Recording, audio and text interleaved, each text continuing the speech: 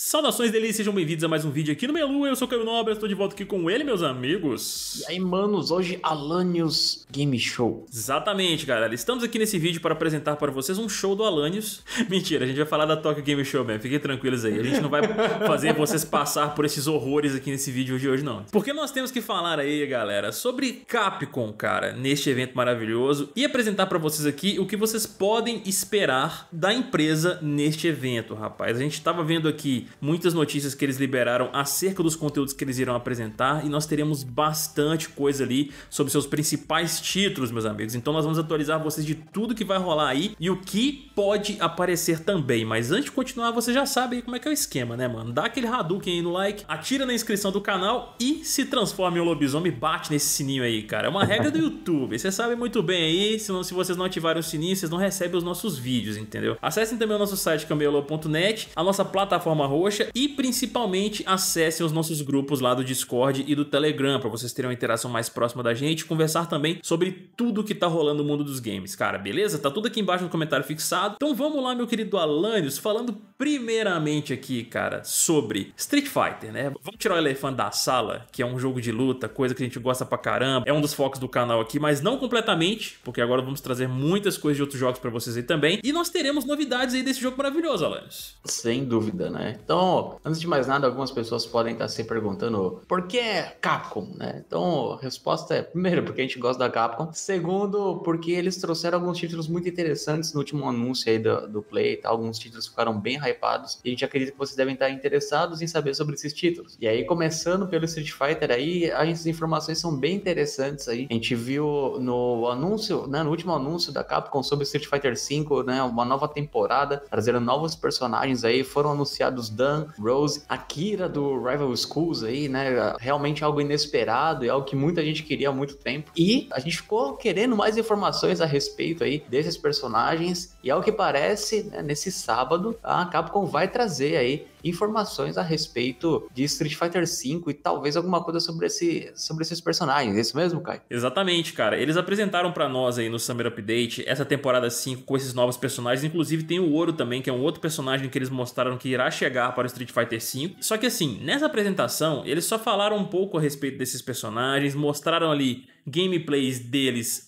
para o Street Fighter 4, entendeu? A Rose, pelo menos. Acho que eles mostraram alguma coisinha bem rápida, assim, do dano Street Fighter 5, mas com a qualidade bem baixa também. Então não deu pra gente ter uma ideia muito boa como é que tá o gameplay do personagem. Mas, pelo jeito, cara, de acordo com o site deles aqui no Capcom Unity, né? Que é o site oficial da Capcom, eles devem mostrar e falar sobre esses personagens. Esperamos que eles demonstrem um pouco de gameplay deles aí pra gente no Street Fighter 5, entendeu? Eu acredito que eles não irão mostrar de todos. Eles podem falar sobre cada um deles ali ali, mas pode ser que eles mostrem apenas de alguns, entendeu? Porque eu acredito que eles não estão trabalhando com todos ao mesmo tempo. Visto o tempo de lançamento de cada um, né, no ano que vem, que o espaçamento é bem longo e a gente vai ter personagem ali até lá pro meio do ano, então acredito que eles devem mostrar o Dan logo de cara, alguma coisa do tipo. É, em jogos de luta, geralmente, né, existem alguns times, pequenos times que são responsáveis aí por personagens em específico. É, a gente não sabe como que a Capcom tá trabalhando, o ritmo que eles estão seguindo. Esse evento vai dar um feedback bem interessante pra gente de como que eles estão trabalhando com o Street Fighter V e da velocidade que esses personagens estão ficando prontos, né? Eu acredito que vai ter mais Dan do que qualquer outra coisa, porque a gente já viu alguma coisinha do Dan. Os outros personagens eles não mostraram nada, o que aponta que estava em estágios bem iniciais de desenvolvimento. No entanto, a gente não sabe o ritmo e a gente vai conseguir ver isso de uma forma muito legal aí, provavelmente, dentro desse evento que vai ter no sábado aí. Exatamente, cara. E não para por aí, meus amigos, porque nós teremos também aqui apresentações de Devil May Cry 5. Eles irão mostrar novidades aí da Special Edition pra gente. E eles disseram aqui, cara, de acordo com o cronograma, que nós teremos de fato gameplay aparecendo. Claro, entendeu? Porque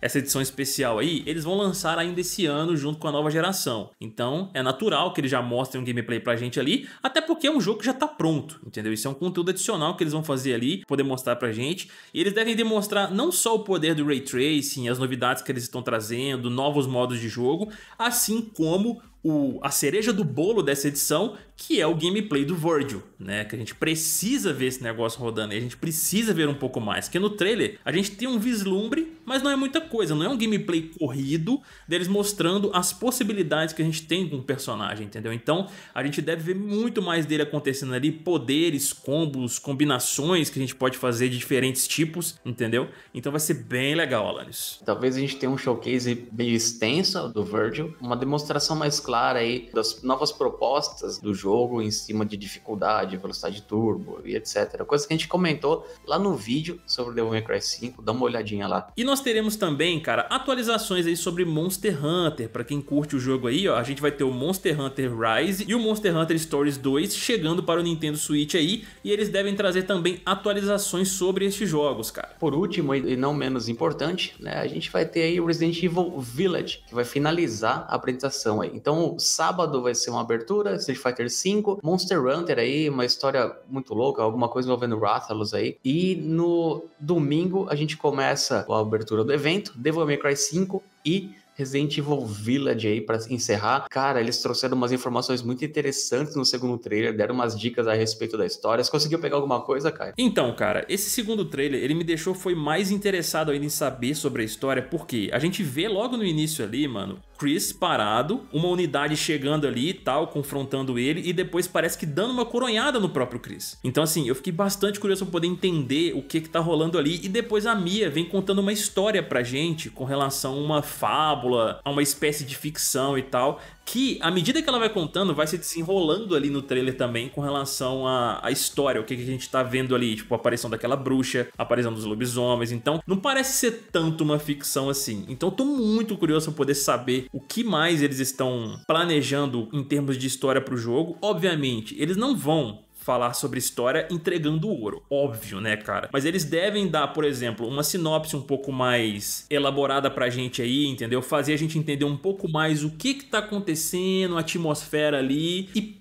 Principalmente, cara, isso é uma coisa que eu quero ver muito que eles apresentem lá pra gente. Um trecho de gameplay longo, cara. Eles mostrando ali os recursos do jogo, entendeu? A gente já sabe que a jogabilidade vai ser no estilo do Resident Evil 7, que é em primeira pessoa. Então eu quero ver os aprimoramentos que eles vão trazer nesse sentido aí. A gente tinha visto algumas informações que alguns pontos ali iria se assemelhar muito ao Resident Evil 4, naquela estágio mais inicial de desenvolvimento, que o jogo tava mais num aspecto de assombração e tudo assim. O inventário eles comentaram que seria um pouco parecido com essa versão também. Então tô muito curioso pra poder ver, cara, esses aprimoramentos e espero que eles mostrem pra gente um gameplay um pouco mais longo. Isso sem falar que nós teremos os produtores lá, o Tsuyoshi Kanda e o Peter Fabiano também nesse painel para poder falar um pouco mais sobre o jogo. Então, a gente pode esperar bastante informação sobre ele aí, cara. Ele tá com lançamento previsto para 2021, então eles devem passar algumas coisas pra gente ali, mas não tudo que devem ser passadas aí em apresentações futuras até o lançamento, entendeu? E eu tô bem curioso, Alex. Eu tentei prestar atenção no trailer aí pra ver se eu pegava alguma coisa na história. Não manjo tanto assim de Resident Evil, porque eu tenho medo de ficar jogando a parada. Mas eu posso falar a respeito de criação de história, de narrativa. É que geralmente quando você coloca fábula em alguma coisa, você quer contar a origem de, de algum evento. Então pode ser que eles estejam pensando em trazer pra gente uma origem a respeito dos fenômenos paranormais do Resident Evil 7, do que aconteceu com a tiazinha lá e tal. Nesse Resident Resident Evil 8 trazendo alguma informação pra gente de tipo, do porquê que aconteceu tudo aquilo, por que ela era daquele jeito, dos fenômenos e tal. E o Chris continua sendo uma interrogação para mim, porque no primeiro ali aparece ele meio que parece um vilão, de repente aparece ele e essa unidade aí, eles estão capturando alguém e vai saber o que, que tá pegando aí, vamos